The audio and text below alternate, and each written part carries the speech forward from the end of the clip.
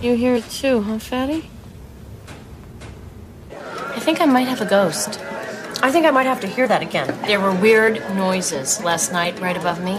The cat heard it too. Oh, well, if the cat heard it.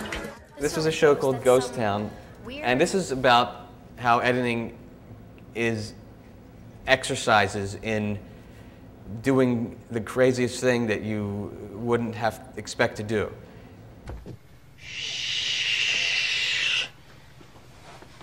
In case of anything, burglars, rapists. Don't you have something in case? In case Mace. I don't know how much good that's gonna do me in case my friend accidentally stabs me because I didn't know she had an in case knife. I could have swore I heard What? the covers. This was a scene that was deleted from the show. This was never in any episode. The producer ultimately said, That's not the style of our show. This is not like a scary movie kind of thing. He didn't like the big knife. And there was a scene later where they're sitting in bed. He, she calls her again to come over, so she's not scared. She needs somebody there. And they're sitting in bed eating Oreos. And the way they were eating them was now, this was in every take, every angle. They were taking the knife, the, that knife, and opening their Oreos with the knife, and then eating their Oreos, and then handing the knife to the other one, and they were just using the props. So Michael Patrick King, the producer, says, "All right, I didn't like the other scene with the knife. We got to get rid of the knife. So cut the scene with the Oreos, and I don't want to ever see the knife."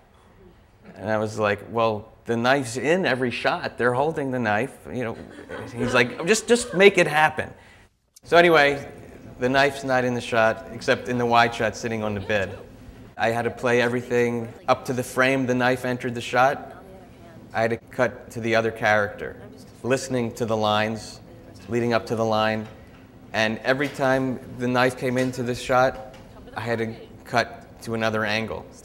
This is also your job in editing to find a way and make something happen.